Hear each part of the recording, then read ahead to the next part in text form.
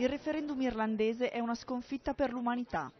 Tre giorni dopo il voto che in Irlanda, con il 62% dei sì, ha legalizzato le nozze gay, il cardinale Pietro Parolin si è detto triste per il risultato che sancisce, queste le sue parole, una sconfitta non soltanto dei principi cristiani, ma dell'umanità.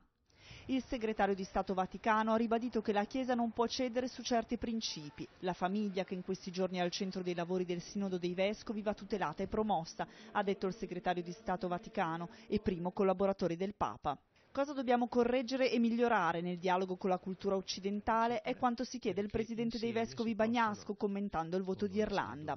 Promuovere il confronto quindi, ma senza rinunciare alle posizioni della Chiesa che afferma il pieno rispetto della dignità di ciascuno contro ogni discriminazione, ma rifiuta di equiparare unioni omosessuali a quelle della famiglia fondata sul matrimonio tra un uomo e una donna.